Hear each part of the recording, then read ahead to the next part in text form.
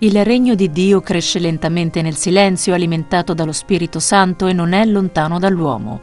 Lo ha chiarito Papa Francesco celebrando la messa nella cappella della casa Santa Marta.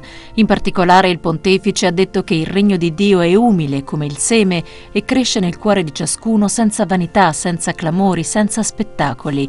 È un'opera incessante di perseveranza, anche di sofferenza e si coltiva con la preghiera, l'adorazione, il servizio della carità. E il giorno che farà rumore lo farà come la folgore, guizzando, che brilla da un capo all'altro del cielo. Così sarà il figlio dell'uomo nel suo giorno, il giorno che farà rumore.